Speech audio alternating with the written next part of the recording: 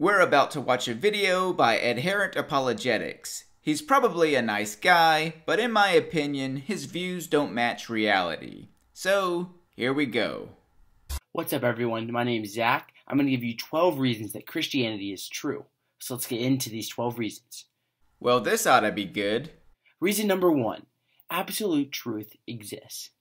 If you say that truth is just relative, that would be a self defeating statement because that would be an absolute statement. Either God exists or God does not exist. Only one of these options can be true. Okay, I gotta ask what atheists think truth isn't objective or absolute? The Earth orbits the Sun. This is objectively true whether there are humans or not. This is true whether we know it or not. However, one day our sun will burn out and our planet will be dust. Which means, I guess it won't always be an absolute truth, but it absolutely is an objective truth right now. Whether we're in a simulation, which I doubt, or we're on Earth, it's an objective truth that we're here now, even if some scientists or conspiracy theorists argue over where here is. Why do we need a supernatural deity in order for this to be true? The answer we don't. Reason number two the universe almost certainly began to exist. Modern scientific discovery has made it very clear that the universe did, in fact, begin to exist. This can be seen with the expanding universe and the impossibility of an infinite chain of universes. Of course, the universe began to exist, but how do we know that? through science, not a book that heavily implies that Earth, along with the universe, is 10,000 years old. Evidence that the universe began isn't evidence that a God caused it to begin. Reason number three the fine tuning of the universe. There are many constants that fit into precise ranges, and if they did not fit into these given ranges, humans, or any universe capable of supporting life, would not exist. So, what you're saying is, we exist because we're in a universe that naturally allows us to exist. Um, okay. How does this prove that the Bible, a book that commands women to marry their rapist, is true? How does this prove a book where slavery is okay but eating shrimp is forbidden? Oh, yeah, it doesn't. Reason number four objective moral truths do exist. The fact that we know rape is wrong shows that there's an objective moral standard of truth which could only come from God. wow. Let's see what this God of yours did in the Bible, shall we?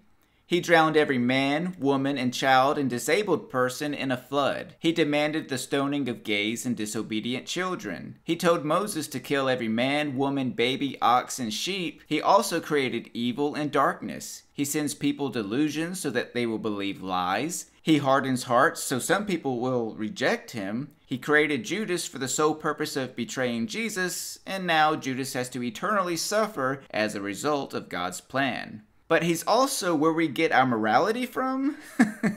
yeah, okay. I suggest you watch my video, Objective Morality, the Bible, and Atheism. Reason number five millions upon millions of people have experienced personal encounters with God.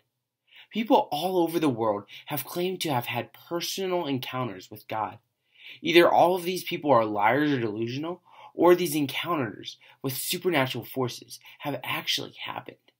Millions upon millions of Muslims claim to have experienced Allah. Does that mean Islam is true? Yeah, I didn't think so. Reason number six there are plenty of credible reports of near death experiences. If you look at academic research, there's a lot of reports of stories in which people who are near death experience things that they never should have. These experiences help build the case that there is a supernatural realm.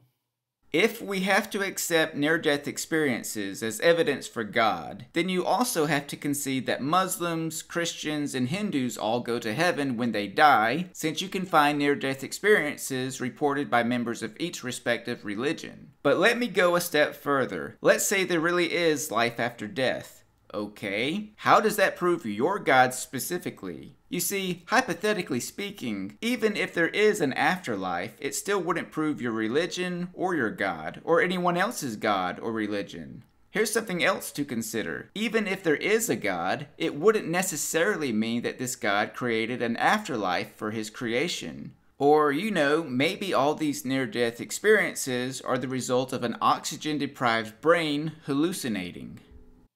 Reason number seven miracles happen.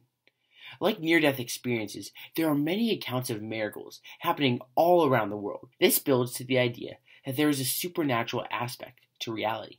I find it kind of funny that you don't point to a single case of a miracle. If miracles are happening all the time, all over the world, and happening to billions of people, why don't we have any cases of this? But let me ask you, what's likelier, that the laws of the universe halted for a person to experience a miracle, or that they just think that it did? We humans are very easily deceived, you know. Reason number eight the New Testament has thousands of copies and no manuscriptal issues relating to major Christian theology.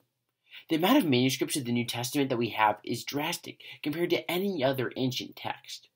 What is even more amazing is that even though there are textual variants, scholars can put together very accurately what was the original writings of the New Testament. Even though these manuscripts were written at least 40 years after the death of Christ, let's just assume you're right. We have copies of the originals, okay? What does that prove exactly? We have copies of the original Spider Man comic book, so does that mean we should believe that Spider Man really existed and that there is a real Marvel universe outside of space and time? Reason number nine the disciples died for their beliefs. The disciples were in a position to know whether or not Jesus rose from the dead, and most of them went to their deaths saying that Jesus did rise from the dead. That puts a lot of support to the claims of these disciples. You know who else feels strongly about their faith? Radical Muslims. They believe in their God so strongly that they kill themselves for it. Does that mean Islam is true? Reason number 10 there are no contradictions in the Bible, and alleged contradictions can be explained. The Bible has no contradictions in it. Most of the alleged contradictions that skeptics bring up have been explained, and if they have not, they will be. this is probably the silliest of your claims. The Bible has no contradictions? Well, let's take a look at the Bible ourselves, shall we? Jesus cursed a fig tree, but did it die instantly or overnight? Was there one language before the Tower of Babel or multiple languages? Is God's anger forever or not? Does God tempt people or not? Does God punish people for their parents' sin or not? And who provoked David to number Israel, God or Satan? I could go on and on, but that'll suffice for now. Reason number 11 there are countless fulfilled prophecies in the Bible. The Bible contains around 1,800 prophecies, and many of these can be shown to have come true. For example, take Isaiah 53, which was written hundreds of years before Christ. It talks about a suffering servant from whom the story of Jesus perfectly fits. Is this a coincidence? I think not.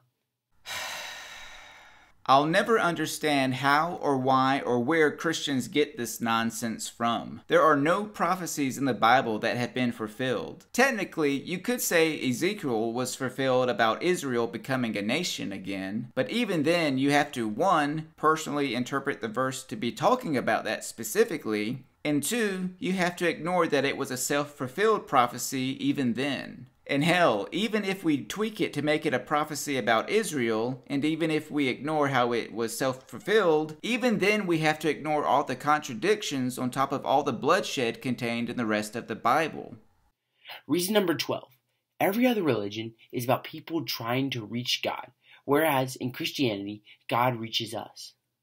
This is what makes Christianity special and one of the big things that drives it apart from other religions.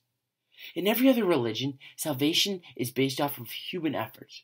In Christianity, all we have to do to achieve salvation is to repent of our sins, confess, and believe in the resurrection. So you can do that right now and be a part of the family. So thanks for listening. I'm Zach. This is Adherent Apologetics. I'll see you next time. The main problem I see with that last statement is you seem to think beliefs are a choice. You seem to think that I, as a genuine atheist, can choose to believe in God, but I cannot. If you don't believe me, try believing that Santa Claus or Odin is real. Go on, try it. I bet you can't do it. Listen, you seem like a nice guy, and you seem smart, and I would like to hear your thoughts on my video, Free Will and the Satan Problem. The link is in the description. Until next time, take care.